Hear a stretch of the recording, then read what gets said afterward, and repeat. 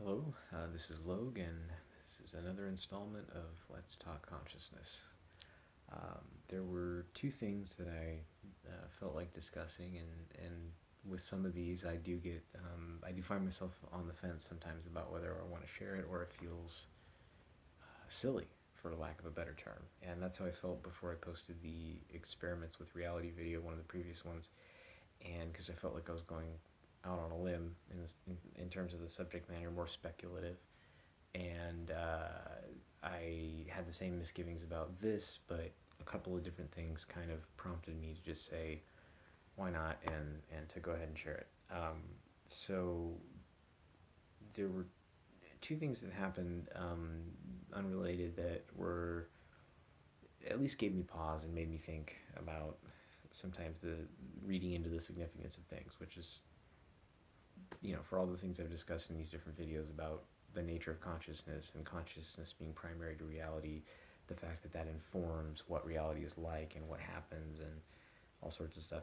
Um, this would be in keeping with that idea. And the first thing was um, just a really mundane thing, having a um, uh, some kind of letdown. Um, in this case, I was um, kind of angling to do something uh, on a given evening, and it seemed like you know all it took a lot of things to sort of come into alignment for that to happen, and it seemed like okay, cool, the plans are to kind of come to fruition, and at the last minute, something just completely spoils it, and and it's done, and uh, that's frustrating. I mean, that happens, but um, in my reaction to that frustration, it took me a while to kind of get a handle on the wave of you know a combination of frustration and anger and disappointment and all these things.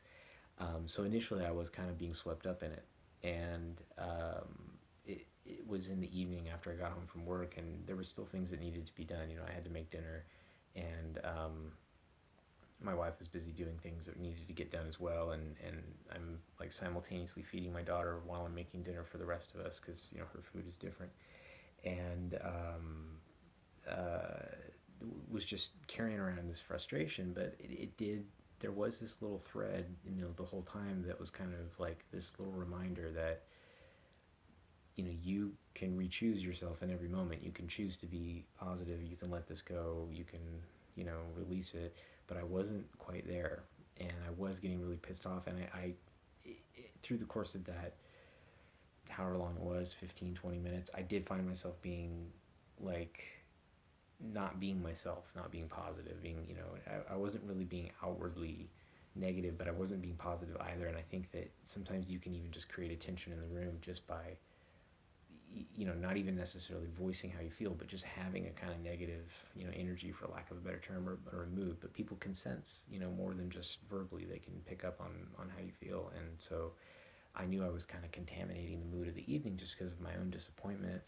And it wasn't helpful or good, but it was just what I was dealing with. But anyway, so the thing that took me out of it, and, and this is where I get into the kind of consciousness aspect, that I think there are all these little reminders that are always around us to pull out of the little picture. And so I had one which was um, just kind of random. I'm going to like this first.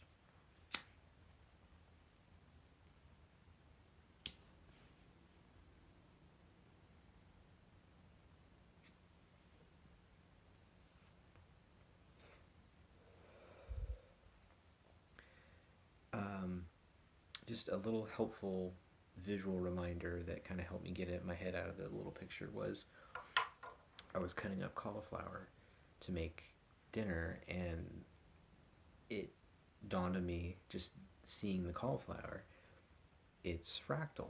It's um, uh, to backtrack a bit and explain plants uh, lots of plants um, maybe all plants as far as I know um, tend to grow following a pattern based on the Fibonacci sequence, which, to give a brief explanation of what that is, it's the idea that you start at zero and in the normal number sequence, zero, one, two, three, and so on, that you take the number that's next sequentially, zero is next to one, and add those together, and then with the sum of that number, add it to the number immediately next to it. So 0 plus 1 equals 1, 1 plus 1 equals 2, 1 plus 2 equals 3, 2 plus 3 equals 5. So you're always going back to the previous number and adding it to the to the sum that you got from the first equation. So it just it it's this thing that increases and if you plot it out on a graph of equally sized squares, it actually makes a very beautiful spiral that appears in like everything and in a way that is kind of just begs the question if this is like an almost um, like an architecture uh, kind of signature of of of uh, um, I mean people who who kind of fall in the I don't want to start dividing people into camps but some people use it to justify certain explanations of reality. You are going to have to make up your own mind what you think of it. But it is an interesting phenomena that um, plants in particular follow this pattern of spirals that are based on this sequence. And even the number of petals that grow around a, a, um, a plant or the number of seeds that grow in a sunflower or this you know the way cauliflower grows it all really strictly follows these numbers. You can count the petals or the seeds or you know whatever it is. You can count spirals around pine cones another good example um, uh, and and they always line up with these numbers, and it's really it's pretty weird, but it, it is it kind of points to this kind of logic um, of reality, and that it is mathematically based, and it's interesting. I mean, you could I think you could dismiss it as just being the way things evolved because it kind of has a certain sense to it in, in practical application, but I, I think it does point to this creative aspect of life and the universe. I mean, it even dictates the way galaxies spiral and and I mean he could go on all day. I'll include one video that's really short that just explains the plant um, uh, observation with the Fibonacci sequence. But the point is, I'm cooking dinner. I'm looking at this cauliflower. I'm pissed off. My daughter's crying. You know, I'm get, trying to give her food. I'm trying to make dinner, and you know, I can tell my wife and my son are probably a little irritated by me being, you know, out of sorts and um, I just noticed this, you know, this plant that exudes this like signature of life, of, of reality itself, and I realized like your little, you know, microcosm or your struggle is part of a bigger thing, and everything from the smallest to the biggest thing is all part of that same thing. So it's not that your struggle is unimportant, but it is part of a larger continuity, and maybe have a little humility, um, and and you know not um, be such a drama queen. Um, so that it was helpful to be kind of pulled out of it by this thing that I've always thought of as an interesting metaphysical clue that you know that, that this is this has a creative aspect to it, our our, our existence. Um, so that was interesting. Um, so then I'll kind of just quickly move on to the other thing that I experienced, which I think is um, that actually, that first part wasn't really out on a limb. I, I, referenced that at the beginning of the video. This part, it feel, is out on a limb and is kind of going in the direction of, of a little bit more of a strangeness and, you know, my take on reality. Um, and that has to do with, um, you know, if you are looking at the reincarnation model of reality and the idea that we exist in this other larger consciousness system and here, probably simultaneously, but maybe, you know, we come from there to here and then go back. I think the coming and going thing is probably more of an illusion, but um, but meaning that our awareness is here in this physical place, but we also have a life on the outside, um, ostensibly, or at least you know some awareness. So, if that's the idea, and it's a seemingly infinite universe, and consciousness is infinitely subdivided or whatever it may be, meaning there's lots of conscious beings, it stands to reason that, you know, some of us are here in a physical reality, some are not. So, you know, just first acknowledging the idea that conscious beings, you know, may operate as agents in a way from the other side, if you want to put it that way, but from another point of view, one that we couldn't comprehend from our point of view. And so, if that's true, pair it with another idea, which is, um, you know, maybe as we have people who are generally good and people who are generally pretty self-serving, you know, assholes, if you want to be um, uh, blunt, um, that that doesn't have to be limited to this reality, and it's quite possible that as you go into higher realms of, of reality or consciousness, there still could potentially be, you know, these aspects of light and dark, of, of people who you'd call good or, or evil or whatever you want to call it, Um, so if that's true, it also seems interesting to consider the idea that they interact with us in ways that we can't perceive because it's it's it's you know behind the curtain so to speak um, so relating that to an experience in my own life i um, recently went down to los angeles to go to a wedding and stayed in a uh, in hollywood and, and it was very nice and and um, you know, I was very grateful to be taken along. I didn't go to the, the wedding. The issue was that my wife was going, but our children we didn't really have anyone to leave them with, so I just went along to watch her kids while my wife was at, at her friend's wedding. And um, and point being, it's like the third or fourth time we've been to Los Angeles, and it was true in the past, but it was really I felt this this time is like a visceral sense of like I fucking hate this place. I mean, not not exactly. That's very judgmental. So it's not that I hate it, but it's like I feel a sense of like, oh, this place doesn't want me. and I don't want it, and it just it's a It's like it's just a really it's an uncomfortable feeling. Maybe it's the feeling of being surrounded by way too many people. Um, that you know we're not meant to cram that many people in such a small place. Um, I don't know. I, am just reporting the experience. I don't know what to make of it. But um, point being, uh, it was an uncomfortable feeling. It took about 24 hours, 36 hours to shake it before I finally got comfortable. We were there for a few days. Um, and uh, finally kind of got things settled. And, and anyway, this is where I, I think this is kind of a weirder aspect of this. It's like perhaps that surrounding, perhaps the house itself, perhaps something about my own vibe or energy. It, who knows why, but when I got back, I felt really depressed. I felt like I brought something with me from LA. I don't know.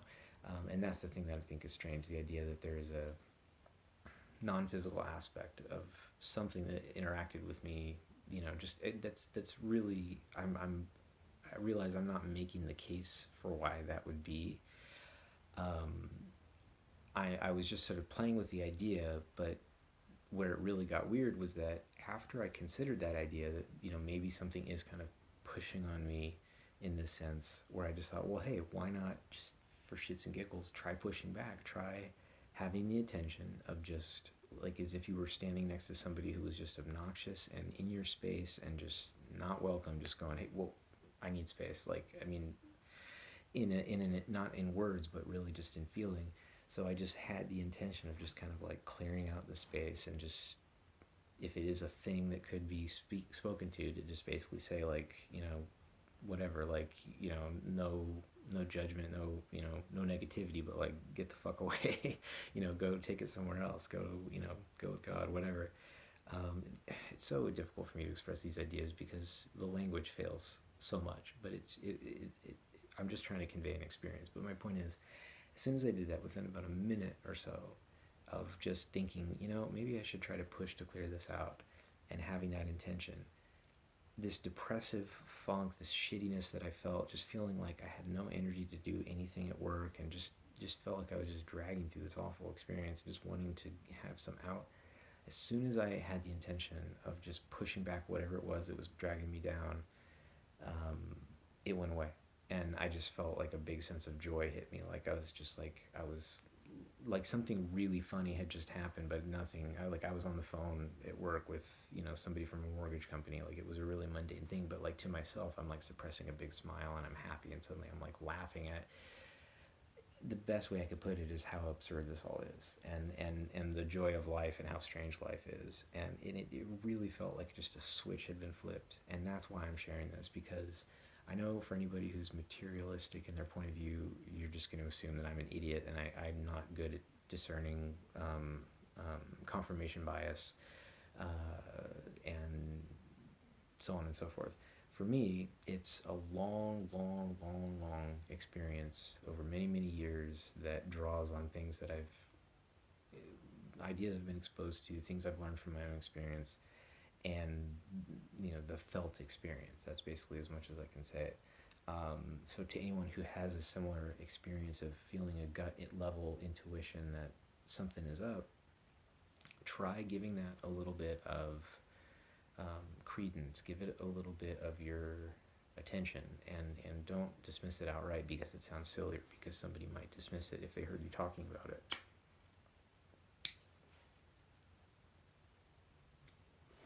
So I realize to some number of people it'll sound daffy. At some point in my life, I was the person who would talk shit about people that I thought sounded daffy. I got older, experienced different things, opened my mind. Um, you know, no judgment to people who disagree. You know, it's all it's all what you make of it. But um, to people who are curious about things that happen to them and why, I encourage you to play with it a little bit. Try exerting your own influence. If this is a conscious experience, you may have some power to exert and, and some influence on it. Um,